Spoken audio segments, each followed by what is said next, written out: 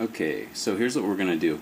We're going to start off by going to gmail.com and we're going to log in. So we type in our username and our password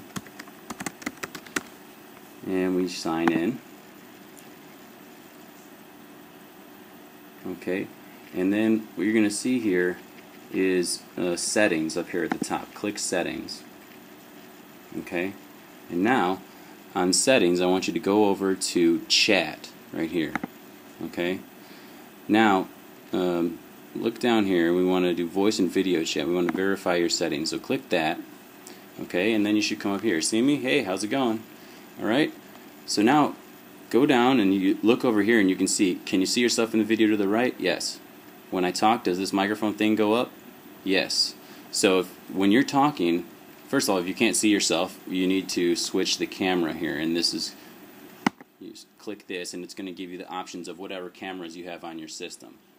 Um, if you have the webcam plug in, plugged in and it doesn't come up, we'll have to work on that separately. But hopefully it will see it and you'll be able to select it.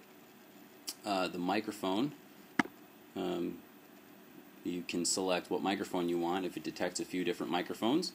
Um, hopefully, it will also detect uh, the uh, default devi- device. Um, and if you have that set up in Windows to be the microphone on your webcam, then you should just use default device. Um, otherwise, hopefully, you'll be able to see the name of your webcam manufacturer somewhere on here, and you'll be able to click that. Okay, speakers. Uh, you want to be able to hear, obviously, what's going on here, so you can check either built-in output, um, which would be the speakers um, on your audio card, uh, or if you plug in a headphone, your headphone jack, um, then that would be coming out of there. So be sure that when you talk, you can see this little thing move here, and it's good. And then when you play the test sound, you can hear it, which I can. So we're good. All right, so let's. Um, uh, I would definitely check this box here to enable echo cancellation and report quality statistics to help improve Gmail voice, video, and chat. Why not? I mean, it'll help out in the long run, and it's a great thing. So you may as well click that.